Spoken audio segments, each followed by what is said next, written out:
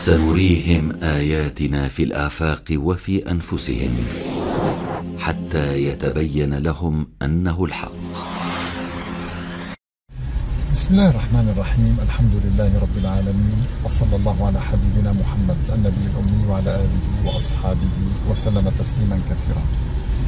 أيها الإخوة والأخوات السلام عليكم ورحمة الله وبركاته. وكل عام وأنتم بخير. أيام قليلة تفصلنا عن هذا الشهر الكريم. الحقيقة شهر رمضان الذي أنزل فيه القرآن. الهدف الرئيسي أيها الأحبة من الصيام أن يعلمك الصبر. أحد الأهداف الرئيسية أن تتعلم كيف تصبر. لأن الإنسان عندما يدرب جسده على تحمل الجوع والعطش فهذا نوع من تدريب النفس أيضا. اليوم حديثنا سيكون عن الصبر في رمضان. كيف تدرب نفسك على الصبر في رمضان؟ هذه فرصة أيها الأحبة لمن يظن أنه خلقه الله لديه شيء من الانفعالات أو الغضب أو عدم القدرة على التحكم في انفعالاته. هناك كثير من الناس يظن أن الله خلقه هكذا. لا يستطيع أن يتحمل يتسرع يغضب ينفعل لأتفه سبب يقول لك أنا عصبي هكذا خلقني. هذا الكلام غير صحيح.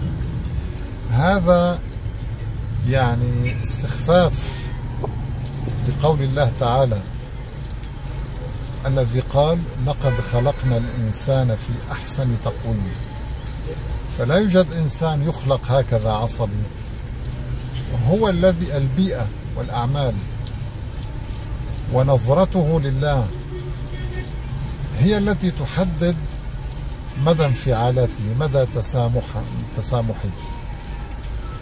النبي عليه الصلاة والسلام لماذا كان أكثر الناس تسامحا؟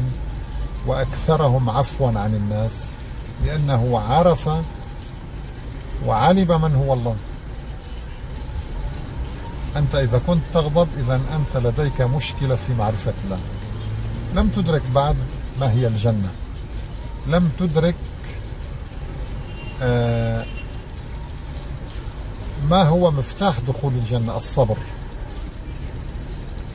الصبر أيها الأحبة هو شيء أساسي جدا جدا لدخول الجنة. الله تعالى يقول وما يلقاها إلا الذين صبروا. وما يلقاها إلا ذو حظ عظيم. إذا الصبر هو سبب رئيسي في دخول الجنة.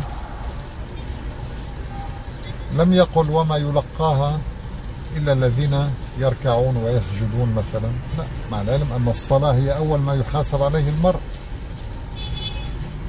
والصيام هناك باب مخصص من أبواب الجنة لا يدخله إلا الصائمون باب الريان أبواب الجنة الثمانية.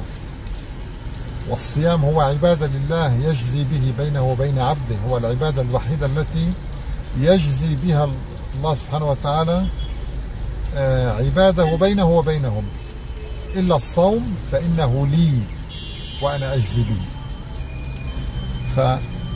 فهذا الأمر أيها الأحبة هذا الأمر مهم جدا ولكن الهدف منه هو الأهم. يعني إنسان يصوم ويكثر الصيام ثم يأكل الربا. طيب ماذا استفاد من هذا الصيام؟ ولا شيء. إنسان يصوم ثم يرتكب الفواحش. إنسان يصوم ثم يأكل مال اليتيم. إنسان يصوم ثم يغش في تجارته يخدعك. كثير من الناس الصائمين اليوم حولنا اذهب إلى كثير من المحلات تريد أن تشتري شيئا لا يقدم لك النصيحة. يغشك حرفيا يعني يغشك من أجل أن يبيع سلعة فاسدة عنده. ويوهمك بأن هذه السلعة هي أفضل شيء. ثم يقول لك أنا صائم. والله لن لن يزيده هذا الصيام إلا يعني خسارة. حتى قراءة القرآن لن تزيده إلا خسارة. الله تعالى يقول وننزل من القرآن ما هو شفاء ورحمة للمؤمنين ولا يزيد الظالمين إلا خسارة. من يظلم أخاه أو قريبه أو يظلم الناس أو يظلم جاره حتى بكلمة يسيء لجاره بكلمة هذا نوع من أنواع الظلم. قراءة القرآن لن تزيده إلا خسارة. الله تعالى يقول لك وقولوا للناس حسنا. ثم تشتم الناس إذا أنت تكذب القرآن إذا أنت ظالم لنفسك إذا ينطبق عليك قول الله تعالى وما ولا يزيد الظالمين إلا خسارة. إذا القضية أيها الأحبة انتبهوا. أنا أريد أن أركز على ما هو أهم من العبادات. الهدف من العبادة. العبادة بحد ذاتها هي عمل ميكانيكي فقط. ولكن ماذا تؤدي بك هذه العبادة؟ إلى أين تذهب بك؟ هل تذهب بك إلى مرضاة الله أم مرضاة الشيطان؟ إلى النفاق؟ لذلك أحبتي في الله الصبر هو من أعظم الأعمال التي تدخلك الجنة. ويدخل في كل العبادات الصبر. انظر أخي الحبيب. الصبر يدخل في الصلاة. هناك صبر على أداء الصلاة على أوقاتها وعلى الوجه الأكمل كما أداها النبي عليه الصلاة والسلام. هناك صبر على أن تأمر الناس ومن حولك بالصلاة وأمر أهلك بالصلاة واصطبر عليها. اصطبر مرحلة أعلى من الصبر. أي يعني اطلب الصبر وصبر نفسك وتحمل وأمر أهلك بالصلاة واصطبر عليها. لا نسألك رزقا نحن نرزقك والعاقبة للتقوى.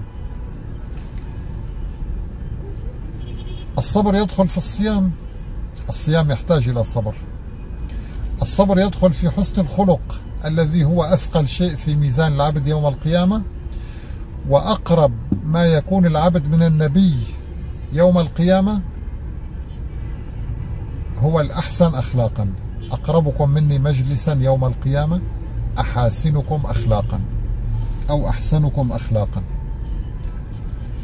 حسن الخلق يحتاج إلى صبر. ما هو حسن الخلق؟ إنسان أساء لك فتصبر عليه. إنسان ظلمك فتصبر عليه. ابن آذاك اصبر عليه. جارك يؤذيك اصبر عليه إذا الصبر يدخل في كل شيء.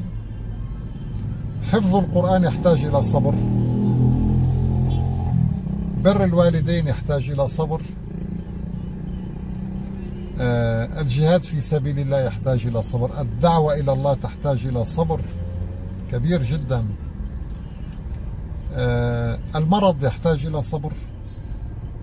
قلة الرزق تحتاج إلى إذا الصبر يدخل في كل شيء. لذلك الله عز وجل شمل كل هذه الأعمال بكلمة واحدة هي الصبر. قال إنما يوفى الصابرون أجرهم بغير حساب. لذلك أيها الأحبة نريد أن نعمل خلال هذا الشهر على تعزيز الصبر وكيف نتلذذ بعبادة الصبر وأن يكون صبرك لله واصبر وما صبرك إلا بالله. أن تستعين بالله وتصبر من أجل الله وأن يكون صبرك لله عز وجل.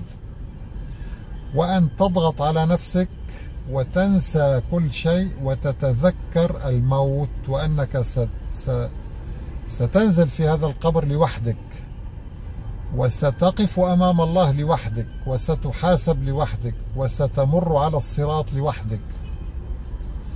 الصبر هو الذي ينير لك القبر ويضيء لك يوم القيامة ويدخلك الجنة بغير حساب. ماذا تريد أكثر من ذلك؟ لذلك نسأل الله سبحانه وتعالى أن نكون من الصابرين. الذين يدخلون الجنة بغير حساب وآخر دعوانا الحمد لله رب العالمين. والسلام عليكم ورحمة الله تعالى وبركاته.